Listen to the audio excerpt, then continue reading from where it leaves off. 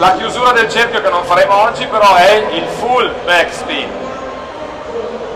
e il full front spin, quindi si fa tutto un movimento completo, sempre a carico del core, un po' come l'alo per chi fa kettlebell. Adesso proviamo un esercizio di forza pura che si chiama pulling push up, questo è tosto, eh, ve lo dico subito però lo proviamo. Andate giù, mettete un attimo chi ha la clava al pavimento, dove avete la testa, la mano è pronata, quindi appoggio del palmo della mano. Dove avete il pomello, la mano è supinata, quindi col palmo della mano verso l'alto. Quindi dove c'è il pomello, il palmo della mano è verso di voi, dall'altra parte invece il palmo della mano è appoggiato sulla testa. Mettetevi in una posizione simile a un push up.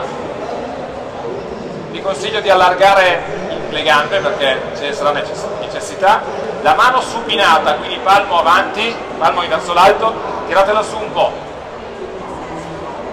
Già questo, se poi vi dico che c'è da fare questo,